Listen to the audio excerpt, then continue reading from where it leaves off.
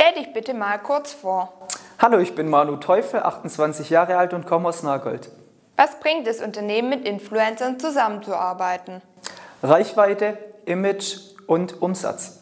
Wie finde ich den passenden Influencer für meine Marketingkampagne? Man kann ihn suchen über Standard und Hashtags.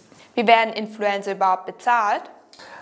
Plattform generiert, äh, plattformbasiert in YouTube über Klicks und in Instagram über eine feste Kooperation mit einer anderen Firma oder ähm, über Affiliate-Links oder Rabattcodes kann der Umsatz getrackt werden.